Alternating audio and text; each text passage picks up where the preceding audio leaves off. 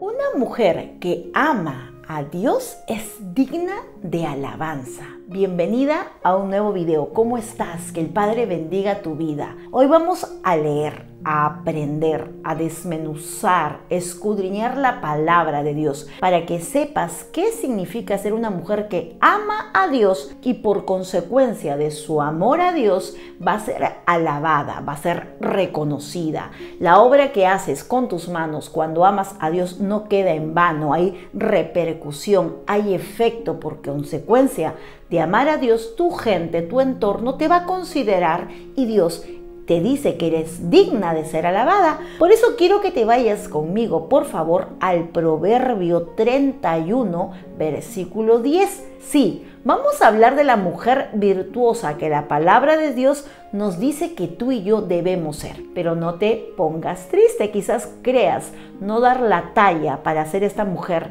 que la palabra de Dios nos dice ser, nos demanda ser, nos anima a alcanzar esa estatura, ese ejemplo de mujer virtuosa que dice la palabra. Pero vamos a empezar, amén. Proverbios 31, versículo 10, dice este proverbio, elogio de la mujer virtuosa, o sea que Dios te elogia, Dios te reconoce, Dios te exalta, Dios te alaba cuando llegas a ser esta mujer virtuosa que la palabra de Dios nos demanda. Pero vamos a ver el significado de lo que significa ser virtuosa. Amén. Virtuosa quiere decir que tiene virtudes. En este caso se refiere a una mujer que tiene aspectos buenos, edificantes, pero que son diferentes de los talentos naturales. Es algo que tú adquieres, no es algo con lo que naces. Una mujer virtuosa es una persona que copia actitudes y las adopta para la bendición de su vida. Por eso, una mujer virtuosa es una mujer que teme a Dios, una mujer que ama a Dios y quiero que en estas características que te voy a nombrar puedas descubrir en cuál de ellas estás. Quizás te falta manejar en tu vida espiritual alguna de, estos, de estas características que vamos a conocer, pero vamos a entrar de lleno a la palabra. Así que recibe de Dios, porque si hasta el día de hoy no sabes si amas a Dios o eres la mujer virtuosa que la palabra de Dios dice, lo vas a conocer. Versículo 1 del Proverbio 31, 10, perdón, versículo 10 Mujer virtuosa, ¿quién la hallará? Es una pregunta en este proverbio. ¿Quién encontrará? ¿Será que es difícil encontrar una mujer virtuosa? Dice la palabra, ¿quién la hallará? Porque si la hallan, será considerada su estima, su valor, dice, porque su valor sobrepasa largamente a la de las piedras preciosas. Quizás en el mundo sí, no conocíamos a Cristo, no habíamos adquirido las virtudes que nos da caminar en rectitud, en bondad, en piedad, en obediencia delante de Dios, y el mundo te dijo que no eras esto, que no valías, que no servías. En Cristo tu valor radica en las virtudes que Dios nos demanda que tengamos delante de Él, que caminemos en obediencia, amándolo. Una mujer que ama a Dios es digna de ser alabada. ¿Tú crees que para Dios, nosotras cuando nos separamos para Él, renunciamos al mundo, morimos a nuestra carne, a nuestros deseos naturales, a eso que tú tanto quieres que se cumpla en tu vida, pero que sabes en el fondo que te puede alejar de Dios, pero por amor a Dios renuncias Él? Te va a alabar y va a ser visto por muchas personas. Por eso dice, mujer virtuosa, ¿quién la hallará? ¿Es difícil hallar una mujer virtuosa? La palabra del Señor nos dice, porque su estima, valor, lo que vale esta mujer, sobrepasa largamente a la de las piedras preciosas. Tu valor en Cristo, tu identidad como hija de Dios es valioso. Quizás antes no te había dicho nadie cuánto valías. Ven a Proverbios 31, versículo 10. Vales mucho más que las piedras preciosas. Versículo 11, el corazón de su marido está en ella confiado, o sea, es la ayuda idónea que la palabra de Dios dice, y no carecerá de ganancias, o sea, no faltará el pan sobre tu mesa, no habrá escasez cuando tomas las actitudes de, las, de ser una mujer virtuosa para Dios, obediente a su palabra, digna, una mujer que se separa para Dios, que camina en obediencia, santidad, que le entrega su corazón a Dios, porque amar a Dios es entregarle tu corazón, tus deseos personales, renunciar a tu yo, pero dice la palabra que el corazón de tu esposo, si eres casada, estará confiado en ti, podrá confiar en ti cuando eres la mujer virtuosa. Dice versículo 12, le dará ella bien y no mal. Todos los días de su vida seremos, no la necia que es carcoma para los huesos, sino la sabia que edifica la casa. Versículo 13, busca lana y lino y con voluntad trabaja con sus manos. Es una mujer que sabe desarrollarse. Quizás no eres una mujer que esté en casa, no eres una ama de casa, pero sabes hacer tu billetito afuera, trabajando, emprendedora. Entonces haces lo que dice el versículo 3, buscas lana y fino y con voluntad trabajas con tus manos. Versículo 14, es como nave de mercader que trae su pan de lejos. La mujer tiene aptitudes, tiene cosas especiales Dios nos hizo con un gran amor, somos el sello de la creación y nos hizo con la capacidad de poder conseguir y traer el pan sobre la mesa, de buscar de donde no hay. Las mujeres resolvemos todo el tiempo. Las mujeres no nos quedamos de brazos cruzados, resolvemos, estamos llamadas a ser la ayuda idónea, las madres protectoras de un hijo, de un esposo, levantarlo en oración. Por eso dice aquí, es como una nave de un mercader que trae mercadería y trae su pan de lejos. Versículo 15, se levanta aún de noche y da comida a su familia y ración a sus criadas. O sea, no solamente te vas a acordar de tu gente, de tu mesa, de tu familia, sino que bendices la vida de aquellos colaboradores de tu hogar. Versículo 16, considera la heredad y la compra y plata y planta viña del fruto de sus manos, o sea, inviertes en el reino de los cielos. Una mujer virtuosa es una mujer guiada por la palabra de Dios. ¿Acá no encajas? Sí vas a encajar. Tranquila, Dios te está preparando. Seguimos. Versículo 17. Ciñe de fuerza sus lomos y esfuerza sus brazos. Versículo 18. Ve que va bien sus negocios y su lámpara no se apaga de noche no vamos a andar en oscuridad, no vamos a andar en tinieblas y sabes manejar tu negocio. Quizás me digas, no hermana, no lo sé. Pues por fe, amada de Dios, por fe, ven a esta palabra y Señor, quiero ser esa mujer virtuosa que tu palabra me dice. Quiero ser esa mujer digna de ser alabada porque te amo. Si amas a Dios, tienes que entrar a tallar en estas características. Tú eres una mujer luchona, guerrera, trabajadora, madre soltera que saca adelante a sus hijos, pero guiada por Dios. Olvídate, Dios te va a alabar y te va a bendecir porque lo amas y cumples las virtudes de una mujer que encaja en el perfil de Dios. Amén. Versículo 19. Aplica su mano al uso y sus manos a la rueca, o sea, trabaja es trabajadora. Versículo 20, alarga su mano al pobre, o sea, bendices la vida de aquellos que no lo tienes, compartes tu pan, compartes lo que poco o mucho que puedas tener y extiende sus manos al menesteroso no solamente es caminar en santidad, obediencia, amor a Dios, es dar muestras, dar frutos de tu amor a Dios.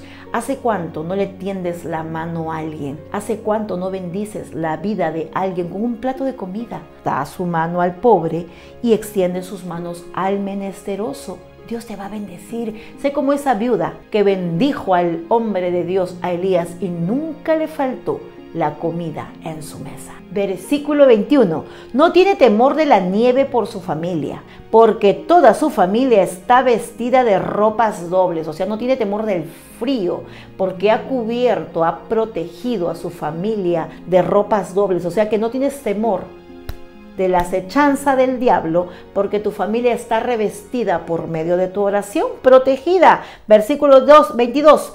Ella se hace tapices de lino fino y púrpura es su vestido. Andas bien delante de Dios. Tu identidad como hija de Dios, nadie te la cambia. No te crees el cuento de otros, te crees lo que la palabra de Dios dice que tú eres. Versículo 23. Su marido es conocido en las puertas cuando se sienta con los ancianos de la tierra.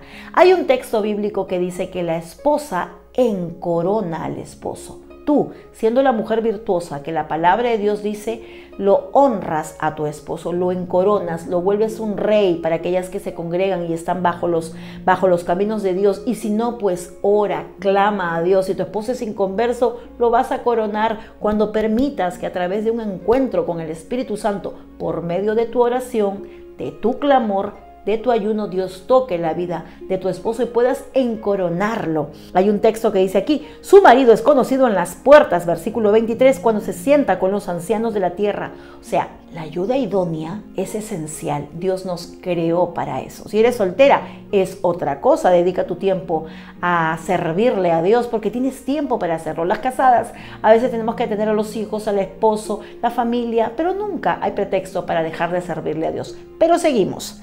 Versículo 24. Hace telas y vende y da cintas al mercader. O sea, te las arreglas, mujer. Eres virtuosa, has adquirido las actitudes que dice la palabra de Dios, te la buscas, te recruceas. Hay madres solteras escuchando esta enseñanza. Si amas a Dios, tú encajas en este perfil porque tú te las buscas. Claro que todo lo haces encomendándote a Dios, pero nunca dejas que tus hijos pasen hambre porque resuelves, sabes traer. Si eres una esposa que tiene una cabeza en su familia, el esposo, el pastor de su casa, pues honras a tu esposo, lo encoronas, amén. Pero seguimos, hace telas y vende y da cintas al mercader, se las busca. Versículo 25, fuerza y honor son su vestidura y se ríe de lo porvenir. Hermoso, una mujer que ama a Dios es digna de todo esto. Dice, fuerza y honor son su vestidura, tu identidad, quién eres delante de Dios y se ríe de lo porvenir. Señor, lo que venga, Padre, lo acepto. Aquello que viene a mí lo recibo, Señor. Me río de lo que va a venir, porque sé que tú, Señor, llevas mi vida, porque sé que tú me amas y yo te amo. Y por tanto tu palabra dice que tú me vas a bendecir y soy digna de ser alabada. Continuamos, así que a reírse, hermanas, de lo porvenir, porque Dios está contigo.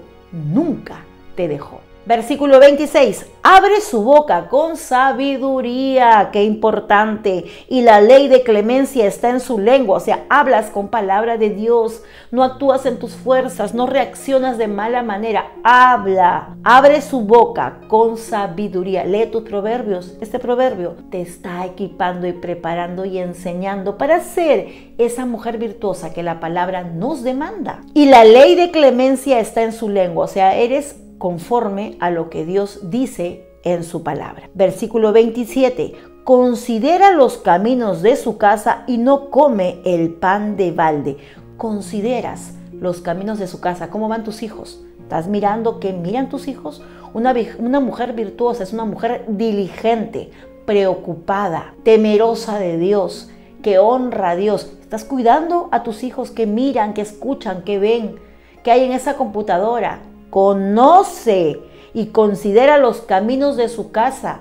Si hay alguien bajo tu tutela grande, chico y vive bajo tu techo, pues tú deberías estar consciente de qué hace, qué no hace, orando por esa persona, porque conoces y consideras los caminos de todos aquellos de tu casa y no come el pan de, el pan de balde, pues tú te ganas tu platita con tu esfuerzo porque Dios te ha bendecido y te ha dado aptitudes para ser una mujer que hace plata, hace dinero, una mujer que resuelve, una mujer que logra sustentar su familia. Estás pagando los estudios de tu hijo. Dios te va a bendecir por eso. Estás supliendo y tapando el hambre de los tuyos. Quizás eres soltera. Dios te bendice y te alaba porque lo amas al hacer todo eso. Versículo 28. Se levanta, se levantan sus hijos y la llaman bienaventurada. Qué hermoso que tus hijos te digan eso. Y su marido también la alaba. Virtudes, ejemplo para otras mujeres, mujer virtuosa ¿quién la hallará? Qué difícil es, según la palabra, para Dios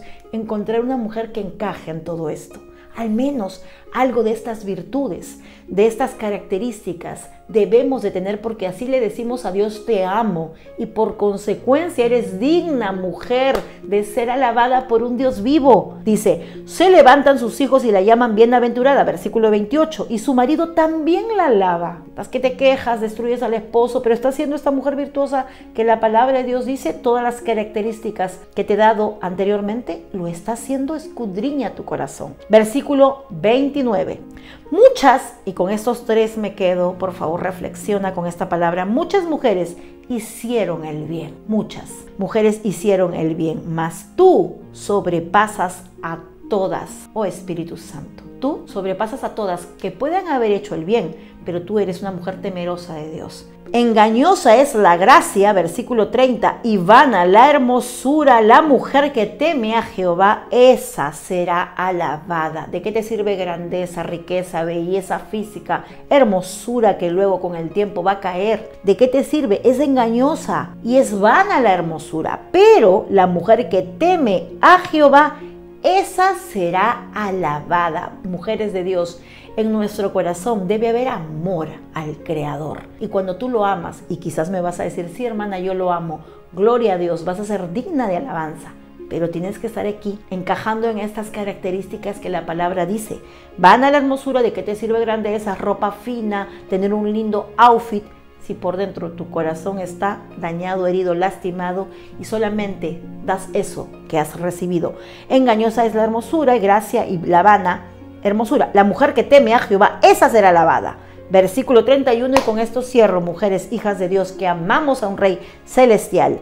Dadle del fruto de tus manos y alábenla en la puerta sus hechos. Sí, alabamos a Dios, sí, pero Él nos dice que también somos dignas de toda alabanza cuando somos las mujeres virtuosas que la palabra de Dios dice. Alejarte del pecado, separarte del pasado, renunciar a esa vida bohemia, esa vida irresponsable, esa vida sin consecuencias y pasas para ser una hija de Dios.